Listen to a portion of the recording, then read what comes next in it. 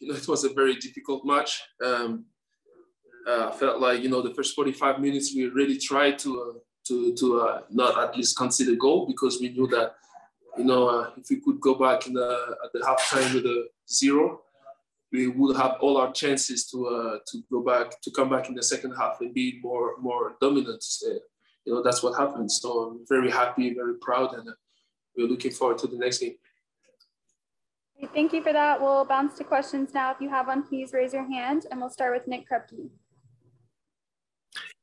Larrys two matches in a row. You're a guy who grinds as hard as it comes. To have your goals of the season come these last two matches, what's the meaning to you? You know, it means a lot. It means a lot. Uh, obviously, you know, uh, as a defender, I'm not expecting uh, uh to, to score to score any goals uh, in a game. You know, the first thing is to try to to have my team not concede any goals. You know, if I can uh, do a little bit more to help the team to, to get a win, it's massive. And uh, I'm very happy about the about those two goals that I scored in the last in the last two games. And uh, you know, I'm just looking forward to, to why not uh, keep uh, doing that. All right, next we'll go to Sam Spiller. Hey, Larrys, uh, congrats on the win. Um, Colorado managed nine shots in the first half, and in the second half, uh, you were able to hold them to just one shot all half. Uh, what was the difference for you that you saw in the second half that you were able to really clamp down that uh, Rapids uh, offense? I feel like in, in the first half, um, we are trying to get acclimated to the altitude. Uh, and we play on top of that uh, four days ago, so it wasn't easy to to really come in the first half and be as sharp and and the more and um, you know as precise as we would be in the in the first half. So um, you know, we, we, we just wanted to not consider any goals in, in, the first half. To not go back to the to the locker room at the at the halftime, make some adjustment because they put in a, a lot of trouble for for our defense. And I felt like you know those adjustments have been paying off in the second half. Um, we were even more sharp, and um, you know we were more you know precise with the ball um, more movements, more uh, everything, just a little bit more every, everything, and uh, that helped us to to just keep them from uh, from attacking us the, the same way they did in the first half, and uh, we, we, had our chances as well. So uh, it was a very good, uh, very good second half. Next, we'll go to Charles Bowen. Congrats on the on the win, Larry. I, I was um, I had two two parts. One is um, they created almost nothing after halftime, uh, even though you know you guys had less rest. You're playing at the high altitude.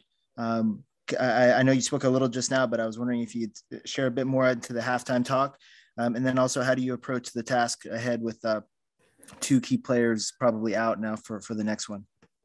Yeah, it's gonna be a um, it's gonna be tough to uh, to not be able to play without uh, uh, Dairon and uh, and Seba, but you know I think that we have a lot of quality in this uh, in this team in this group, and uh, I, I feel like, uh, and I'm very confident about the fact that somebody's going to step up and uh, and uh, make the plays that we need to to to have to to be able to win that game.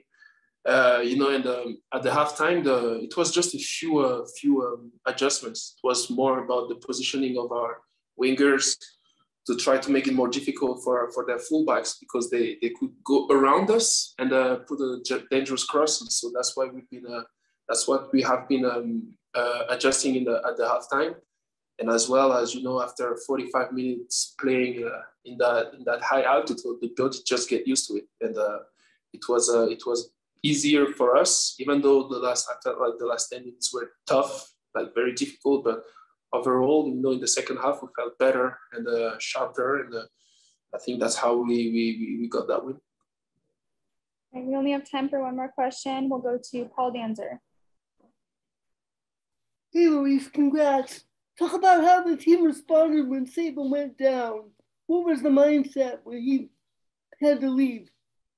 you know, the, the, the mindset was, you know, Seba has been the leader uh, of that team, offensively at least. Uh, and um, the mindset was, you know, we have a lot of good players in that team, in that group, and somebody's going to step up and, and make a play that will uh, allow us to, uh, to, to get that win. You know, and every first of all, defensively, everybody just stepped up the way we, we were supposed to. You know, when uh, Pipe came in, um, he helped us as, as well a lot.